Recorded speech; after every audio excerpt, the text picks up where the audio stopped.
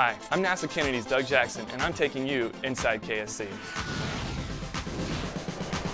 Kennedy Space Center in Florida is home for the Gateway Logistics Element, leading NASA's commercial supply chain for deep space. A major milestone was achieved on August 16th with the release of the Gateway Logistics Services request for proposals. NASA is seeking capabilities from commercial industry to fly a logistics spacecraft as a service in order to enable the vibrant commercial supply chain that will allow us to explore the moon and onto Mars. This includes landing the first woman and the next man on the moon by 2024. Kennedy is launching sustainable deep space delivery for exploration.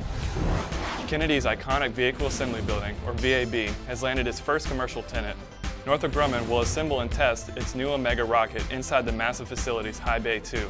Officials with NASA, Northrop Grumman, and the U.S. Air Force gathered in High Bay 2 to celebrate the partnership with a ribbon-cutting ceremony. The VAB has supported NASA's human spaceflight programs for more than 50 years. The building also is serving as the assembly site for NASA's Space Launch System rocket, which will carry the Orion spacecraft on Artemis missions to the moon. Remember, Spaceport Magazine digs deeper inside KSC.